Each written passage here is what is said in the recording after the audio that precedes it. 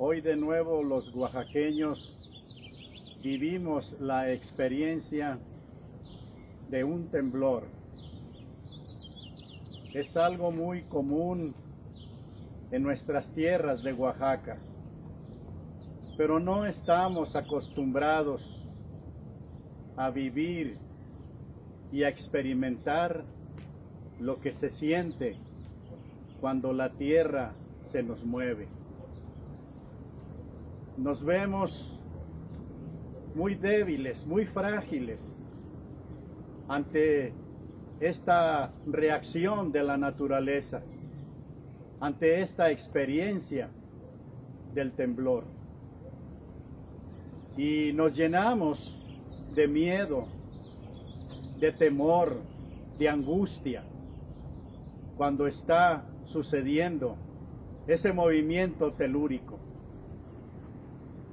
Y nosotros que tenemos fe, solemos acordarnos de Dios y pedir su protección, pedir su auxilio, pedir su gracia y su bendición. Esa es la experiencia que nosotros solemos vivir. Y yo quiero en este momento alentarlos a todos ustedes, porque es parte de nuestra vida vivir estas situaciones, estos acontecimientos, que no estamos acostumbrados a que, aunque con frecuencia, se presenten. Dios, Dios nos seguirá cuidando y protegiendo. Pero aquí tenemos que aprender muchas cosas también. Cuidemos nuestros espacios, cuidemos nuestros edificios, nuestras casas. Qué importante es que les demos mantenimiento para que resistan a estos temblores. Qué importante es ser cuidadosos en ello.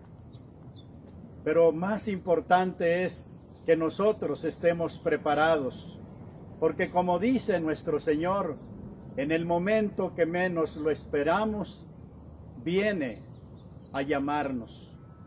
No sabemos ni cómo ni cuándo. Y esto nos ha recordado a nosotros lo frágil y lo débil que somos.